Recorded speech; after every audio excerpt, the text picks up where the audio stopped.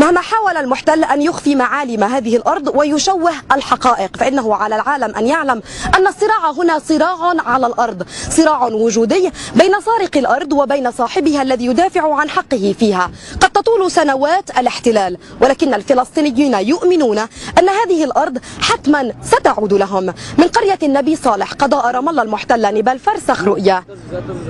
إلى إسرائيل إسرائيل إلى إسرائيل وأن قدرة المستوطنين هذه حتما ستخرج من هذه الأرض الفلسطينية وحتما ستلقى نور الحرية. والدليل على ذلك أن هذه الكاميرا التي تفضح وجودهم اللا شرعي بهذه الأرض الفلسطينية هي أيضا يواجهونها ويحاولون.